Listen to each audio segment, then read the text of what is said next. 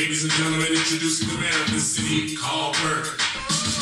I'm living in the city in the USA where you got to do things the American way, where you got to work hard to support your wife, and everybody's looking for a better life. But the man of this city, not a man of wealth, he's just one of the people like me and myself. The man studied for years to be a college grad, but when he finished the degree, it was all he had. He couldn't find a job, it blew his mind, so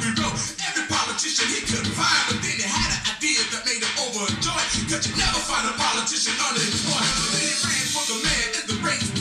And the people realized that the man was right. With his political views, the man couldn't lose. Now the brother's got a job that he can't refuse.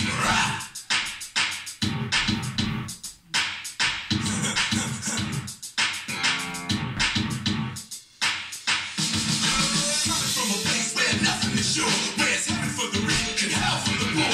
People working on the job they can't stand because No Menj haza! Menj haza!